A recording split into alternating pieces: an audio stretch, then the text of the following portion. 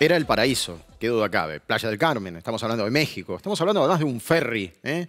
Pero claro, estaba en el lugar indicado, en el momento justo, todos los pasajeros dispuestos a pasarla realmente bien hasta que el ferry explotó.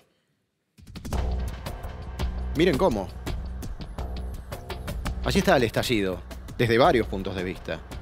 Tremendo, cómo partes de material del crucero se harían despedidos hacia, hacia el mar. El barco estaba amarrado. Los pasajeros estaban descendiendo, dispuestos a disfrutar.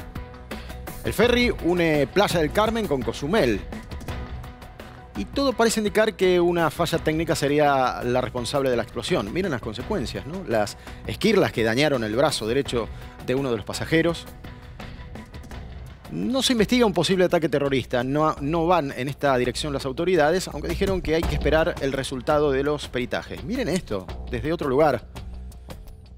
Impresiona todavía el doble, ¿no? La empresa del ferry pertenece a un ex gobernador que además está bajo investigación por corrupción. 26 personas sufrieron heridas de distinta consideración, ninguna grave. Afortunadamente, no pasó de allí. Pero el susto, claro, quedó para todos por igual, ¿no? Con estas consecuencias.